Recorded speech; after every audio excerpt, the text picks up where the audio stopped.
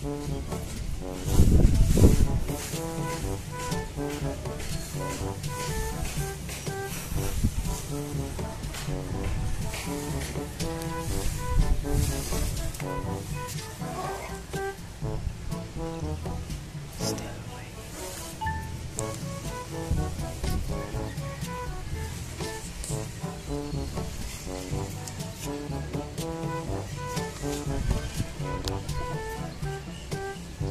Lakas ng hangin. Hangin.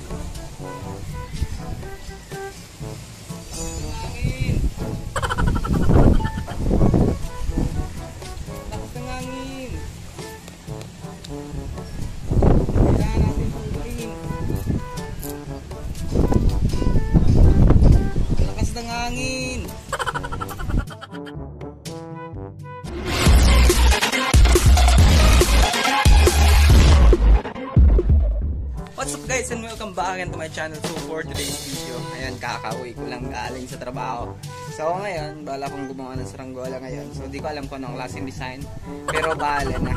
Pero at least, ayan, gagawa tayo ngayon kasi medyo mahaba yung oras natin. Medyo maaga pa naman. So maya maya siguro may mga magpapalipad na din. So ngayon, bago tayo magsimula, shoutout nga pala sa team kapalipad natin dyan. Ayan. Don't forget to like and subscribe. Yeah. Kung bago pa lang kayo sa aming mga channel, alam nyo na, mag-click ng notification bell para always notify ka once nag-upload tayo ng mga panibagong video. So kung wala kayo makita sa mga videos ko, sa team kapalipan natin, siguradong solid meron yan. Ito yung plastic natin na medyo manipis lang tong itim, trash bag.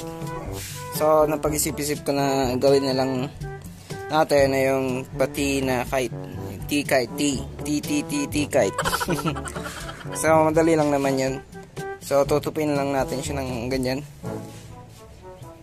Na half. So, make it sure na nasa gitna siya.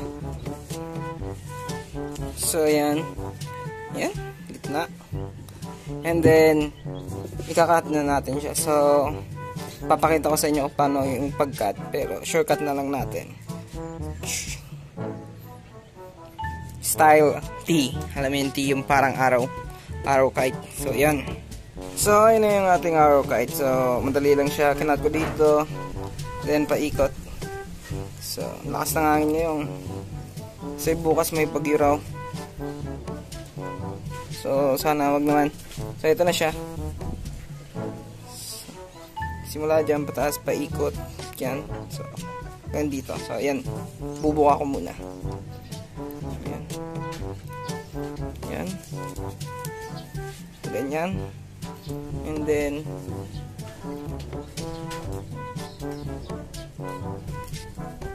dito.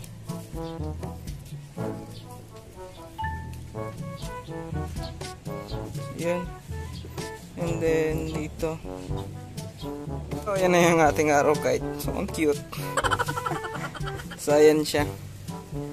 Yan. Yan yung ating araw. So, yan, araw kite.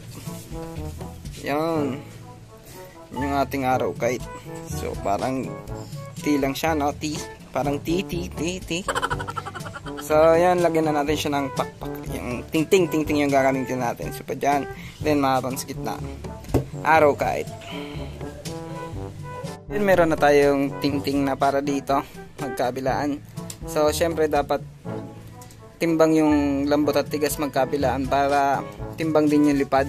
At ito din yung kanyang katawan. So, dapat kailangan pantay ito saka medyo katigasan para ayan para pantay din yung lipad. Pero minsan din natin maiwasan yung medyo naikot, naikot na konti. Pero may mga style tayo dyan para maayos. So, tawag sa iba, tawag doon? Kiling. Kiling. Basta nilalagyan lang ng konting plastic. Pero ito, kailangan dapat timbang para medyo maganda yung lipad. So, tatalingin ko muna ito magkabilaan. So, ayan. Mga ganyan. Then, itatali ko na magkabilaan dito. So, tatali ko muna to.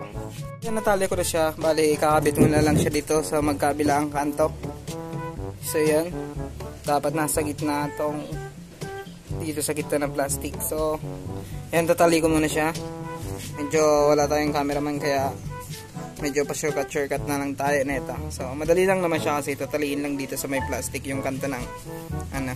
Kung sobra, edi putulin natin. So, yan natali na natin dito magkabilaan. So, next na natin dito yung kanyang katawan. Ito. Yan, dito natin lalagay sa ilalim. So, tatalingin natin sa taas. Then, dito sa baba, dapat sa gitna to. Ayan. So, madali na lang siya. And then, sunod na ito, pero sukat. So, ayan. So, tatalingin ko muna siya. Medyo, nasugatan tayo ng konti. So, tuloy pa rin. So, kakabit ko lang siya. So, yun guys. Yahoo! Natali ko na siya sa gitna. Nalagyan ko na din yung tingting sa gitna.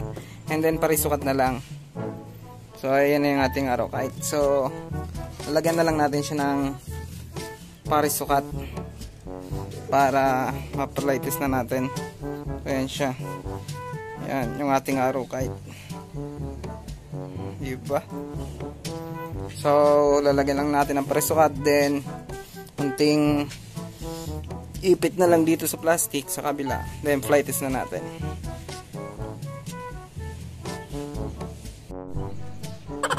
So, yan natin yung ating araw kahit so mayroon ng parisukat. So, ito yung parisukat niya. So, i-ready na lang natin siya para i-flight test. So, yan. So, makita natin kung okay yung lipad niya. So, tingin ko okay naman kasi tingin ko kasi gawa ko eh. so, i-flight test na natin to. Medyo mainit pero kakayanin. Flight test pa rin. So, yan. So, ayun, na-fly test ko lang kani-kanina lang. So, napakalakas ng hangin. Hindi ko alam kung kakayanin ito. Pero okay naman yung lipad niya. Kaso nga lang, malakas talaga yung hangin. So, ayun, papakita ko sa inyo kung yung lipad niya.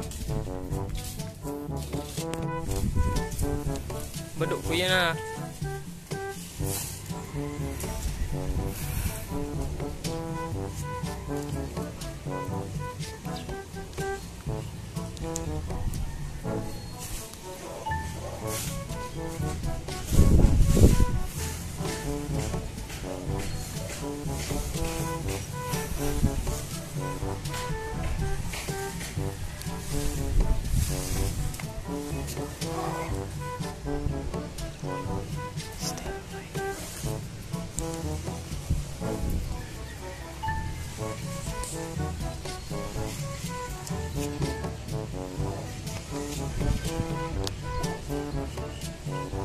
Lakas ng hangin.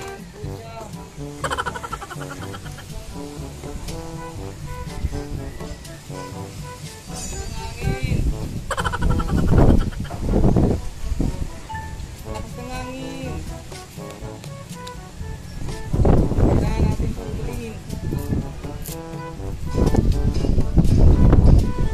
Hangin.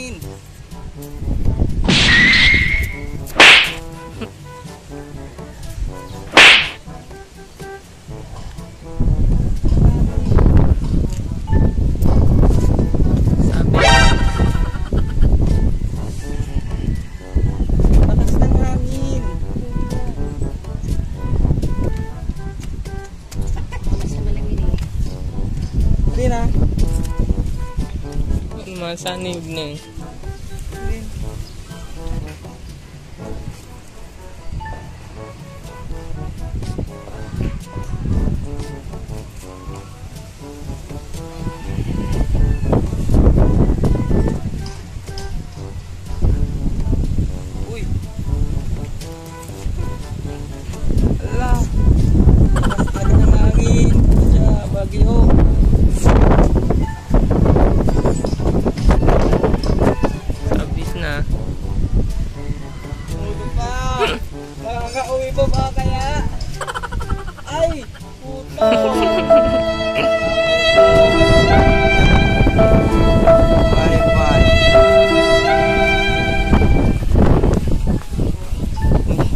So ayun guys, di kinaya ng hangin sa sobrang lakas ng hangin dito sa amin. Kasi signal number 2 ngayon. Dahil may bagyong paparating. Ang ganda sana, kaso nga lang Lakas ng hangin. So, GG. Okay sana yung saranggola natin. Problema nga lang. Gawang ting-ting. Di kaya ng malakas na hangin. So, sayang. Kaya pa sana makauwi. Problema na putol yung tagay. Eto. Sayang. Pero at least okay yung ganon. So, di lang sapat sa balakas na hangin pag ganito yung sitwasyon. So, at dito na lang. Peace out, bye. Shoutout kay James Ace Llantino, Arkin Eliber Barza, Eric Yuson, Lisa Cecil, Son of Dota, Skip Ricardo, Vanessa Mersuales, Mark Nabua, Floating Gaming, Vivi Merca, Samuel Desus, John Nandro Sares, George Sinilad, Noel Miguel Jackson, Ian Rafael Dudolfo, Joshua Miscaso Reyes, John Clay Baracchio, James Kiel, Charles Whitey, Fire Tech Vigayes,